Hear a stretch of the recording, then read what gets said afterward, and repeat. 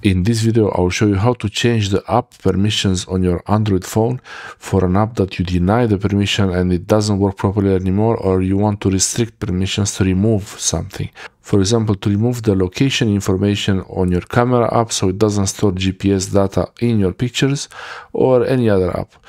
Okay, so I will go to the Video Pro app here. This is the Sony Xperia 1 Mark V this is going to be very similar on many Android phones, including Samsung, but to get to this menu, it's a little bit different. So on Android, this is on Google Pixel and Sony Xperia, they're very similar. You long press on the app, and you have this menu here. That's the app itself, it started.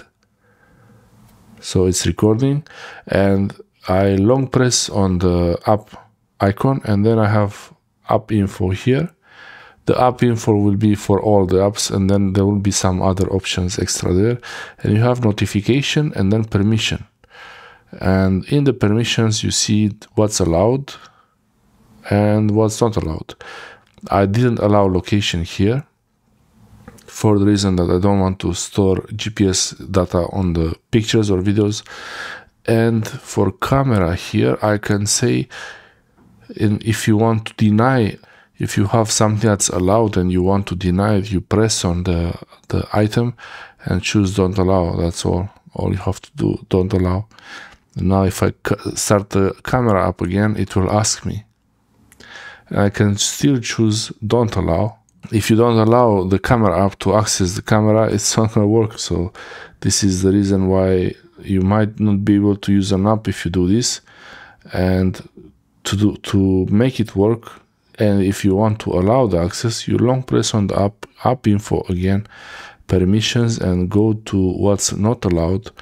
So i denied if you could do this by mistake and you deny an access and then the app doesn't work. So not allowed here. I press on camera and say allow only while using the app or ask every time. It's up to you how you choose it.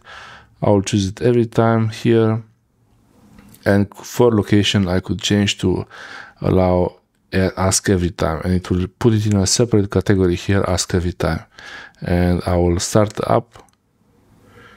And if I try to record it won't really it doesn't try to save the location info so that's great.